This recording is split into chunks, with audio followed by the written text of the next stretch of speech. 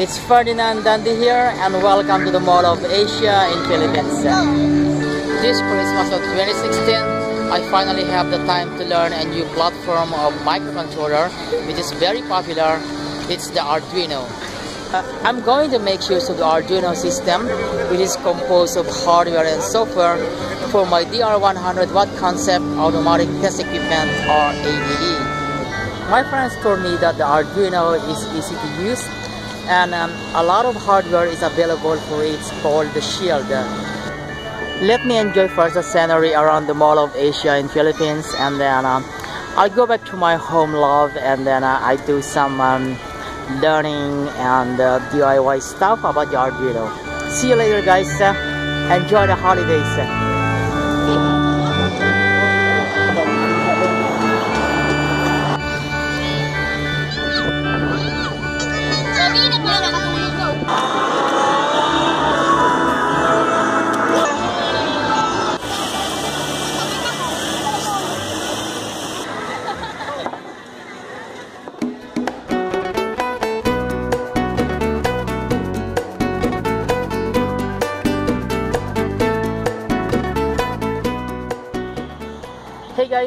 How's life going on there?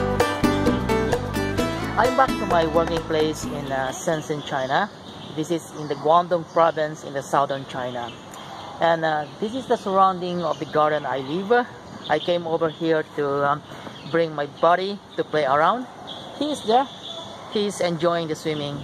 And I'll take this opportunity to explain to you my project. I call it the AATED or the A squared TED I simply call it ATED. You okay there, buddy? Just enjoy the first water, okay? I have something to do in here. Alright. I have this project. Eh? It's a DIY learning for electronics. Eh?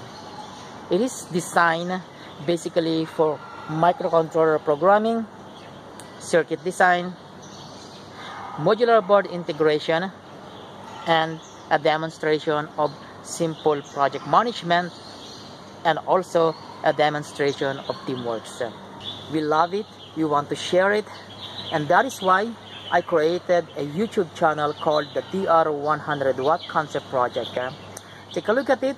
If you have time, watch all the videos in my DR100 Watt Concept channel. So what's a DR100 Watt Concept project to do with the ATED project? That is a good question. Actually, the DR100 Watt Concept project will be the target project to test. It is the UUT or unit under test. So in short, the ATED, which is still in my mind, will going to test this project 24-7 without human intervention. You may ask why I cannot simply do the testing by myself.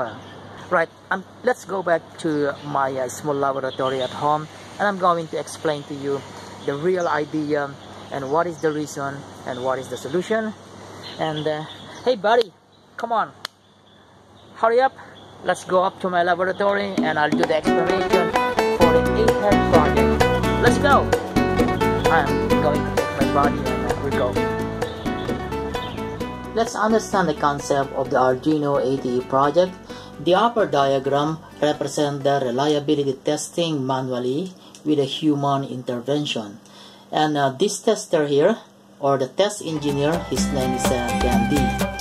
What he will do in here is that uh, he will going to perform a test sequence like uh, pushing the um, volume up or the volume down or change the equalizer setting and uh, whenever he push uh, any of these keys uh, there is there is a response from the DR100 watt concept project. Uh, for example he press the volume up uh, and he can hear the um, uh, strength of the music is increased.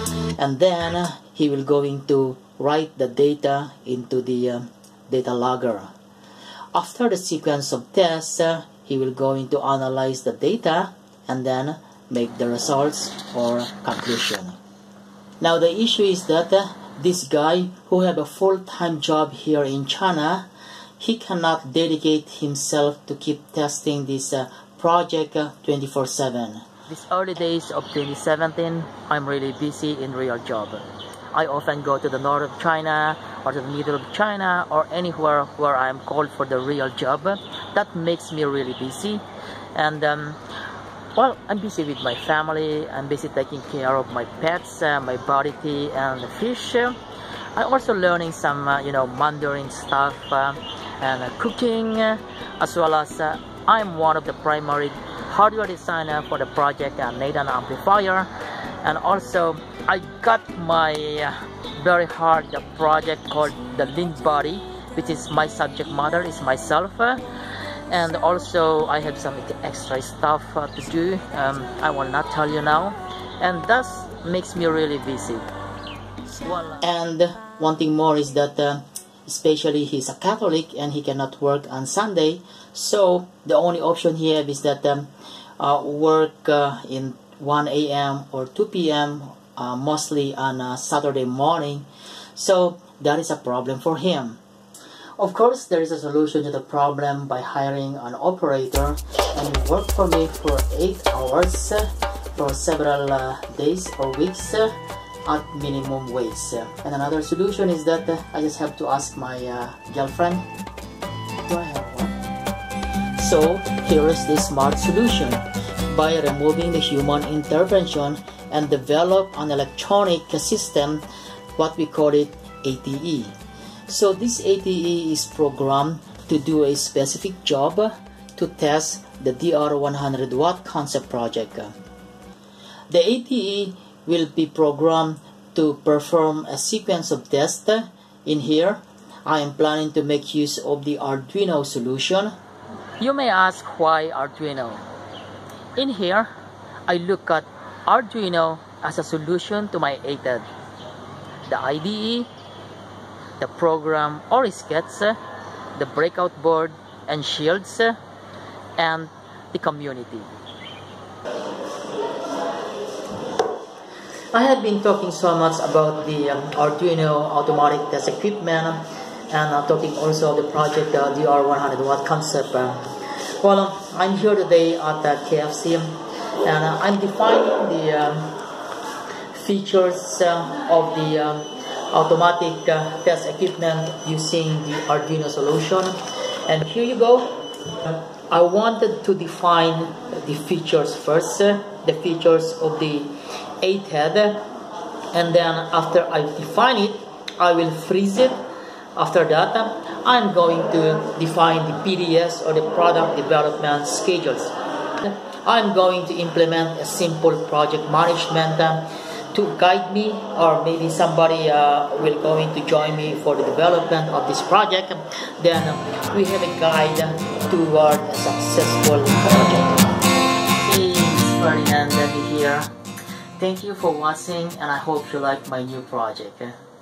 Obviously I've not been able to describe all the ins and outs of my project in this episode 1 video so episode 2 will coming soon if you have time, watch also my other video, my adventure and travel in this wonderful China. Thanks for subscribing and bye for now.